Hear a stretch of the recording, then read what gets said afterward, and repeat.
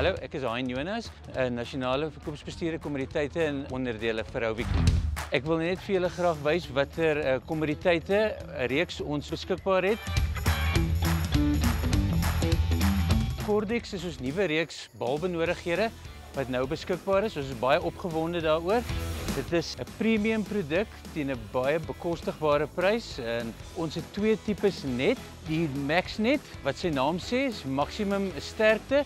Hy's 300 kg breekkrag wat ons aanbeveel vir strooi, hooi en mieliereste en dan het ons ons Netex Dis 275 kg breekkrag wat ons dan nou aanbeveel vir kuilvoer. Hy maak die bal mooi om die kante toe en beide van hulle is 3600 meter.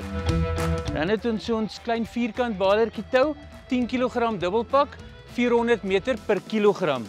En saam met dit het ons ons ook ons ronde baler tou, die bloue, 1000 meter per kilogram en ook 'n 10 kg dubbelpak. Dan baie opgewonde oor ons big pack of groot vierkant baler tou, die 115 meter hoë digtheid, daai density tou in 'n rol van 12.6 kg dan die 108 meter extreme high density tou ook in 'n 12.6 kg rol en dan ons silage wrap 1500 meter 750 sewe laag 23 mikron. So Cordex bied vir ons die totale pakkie waaroor ons baie opgewonde is.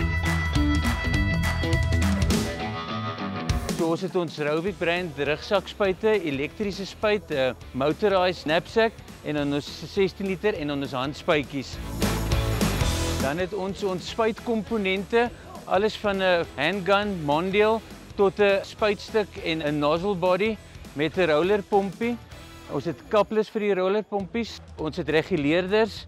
Ons het totale arag reeks met basketfilters en gewone filters en agitators. En dan is ons die agente vir Immovili pompe. Ons het ons laadruk, ons hoë druk pompe en dan ons pistonpomp in die onderkant. Dan het ons ons Kirani reeks, dis ons Rolls-Royce van produkte. Ons het ons firefighters, ons gewone rugsaksspuite, drip torches en selfs die korreltoedieners. Dan het ons ons waterpompe, ons het ons kunsmispomp met 'n 6.5 perdekrag enjintjie en dan ons gewone waterpomp met 'n 5.5 perdekrag enjintjie. En aan hierdie kant toe, as julle sien ons Belotta reeks, eh, snoeiskerre.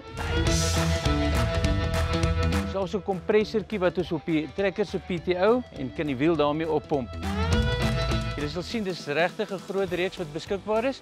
Ons het ons linkage parte, volledige reeks van trekpenne, toplinks en dan het ons 'n reeks radkaste beskikbaar. En hier is 'n reeks Comet pompe. Ek het nou nog gesê ons het Immovili, ons het ook die Comet agente en laaddruk, hoëdruk pompe. Dit is net 'n handjie vol. Ons het nog soveel meer produkte. So jy kan regtig met julle naaste handelaar gesels uh, oor al ons kommoditeite beskikbaar. Baie dankie.